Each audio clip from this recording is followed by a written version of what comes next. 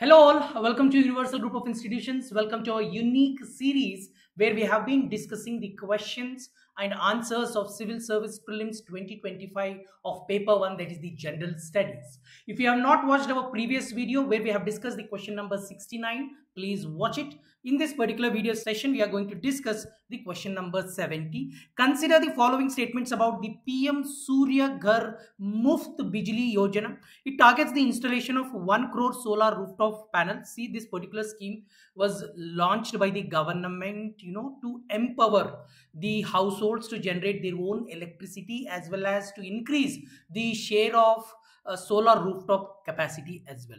So yes, the government has made this I mean, one of the objective is to, you know, installation of 1 crore solar rooftop panels. So this statement is true.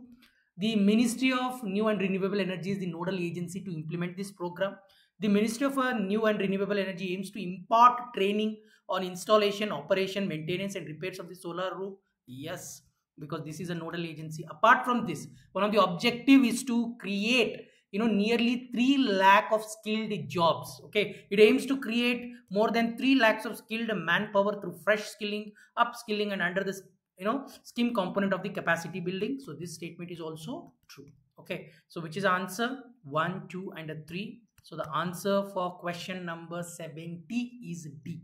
So where do i mean i keep this particular question. See again we uh, we are witnessing i mean from the past 5 years you know upsc has the habit of asking questions associated with the infrastructure uh, specifically you know uh, associated with the renewable energy as india has been you know playing a very dominant or the leading role with regard to this. India was uh, apart from the france has been one of the leading nations with regard to the international solar alliance. So this question has i mean this scheme has been in news as well lately. So again where do i keep? I mean again it happens to be between the easy to medium. So that's it in this particular session do stay tuned where we are going to discuss the question number 71 in the next video.